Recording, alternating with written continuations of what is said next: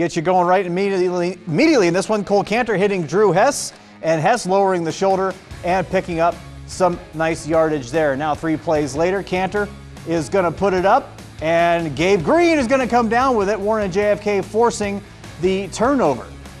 But later on, second quarter, Green Wave get it back, and this time they cash in. Hess with the short yardage TD.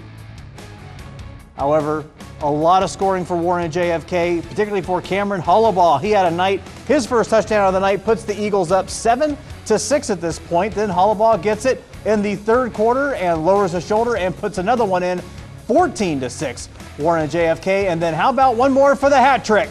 20 to 6. Warren JFK looks like that the Eagles have put this one out of reach, but the Green Wave not done yet. This punt blocked with just over a minute remaining in the fourth quarter. Green Wave get it back in plus territory. Opportunity for North Newark Catholic to get something. Cantor delivers. Brandon Buchanan gets the foot in. Touchdown 20 to 13. JFK. The world knows that the onside kick is coming up. Everybody knows it.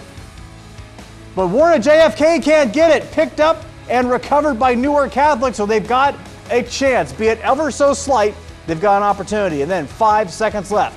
Final play of the game. Cantor heaves it up, looking back of end zone, but JFK is there to knock it down. The Eagles advance as they come away with the 20 to 13 win. So your Division 7 state championship looks like this. Warren JFK taking on New Bremen from the Fortress Obetz. And we'll have that highlights of that one coming up for you on the Sports Report.